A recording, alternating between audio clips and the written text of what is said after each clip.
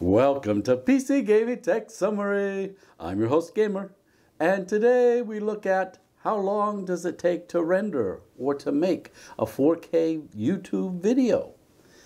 Well, we've got the new 12700K with 12 cores and 20 threads, and it does an amazing job. So I used to use a 7700, an Intel i7 7700, four cores and eight threads.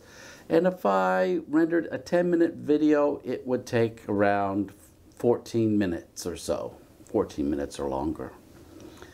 So sit right back, have a cup of coffee, and we'll get into it. Equipment used is a 12700K with the two efficient cores overclocked at 4 gigahertz. EVGA 3060 12 gigabyte is our GPU. Um, we've got DaVinci Resolve on a Gen 4 FireCuda 520 NVMe, and all the other files are on the Gen 3 Samsung 970 EVO NVMe. Our RAM is 32 gigabytes of 3200 C16. We've got resizable bar on, and we're using MSI Z690 Z690 Pro A Wi-Fi motherboard. Uh, one note to take is that uh, turning resizable bar off, overclocking the 3060, or putting all files on the Gen 4 FireCuda made no significant change in rendering times. Here are our results for rendering 12 YouTube 4K videos with the 12700K. The total time of the videos is 179 minutes and 18 seconds, and it took a whopping 67 minutes and 52 seconds to render those videos.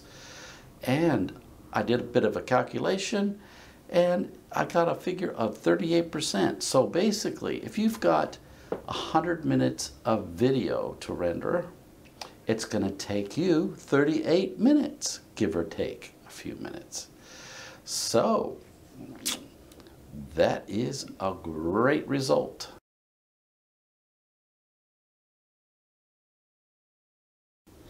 Well, if you'd like to see more technology videos about the 12700K, uh, about um, the AIOs, uh, about what the chemistry, our new series of videos that we've started, well, just subscribe and you'll get notified when those videos are ready. Thanks for joining us here on PC Gaming Tech Summary, and don't forget, you'll be seeing me in the next video.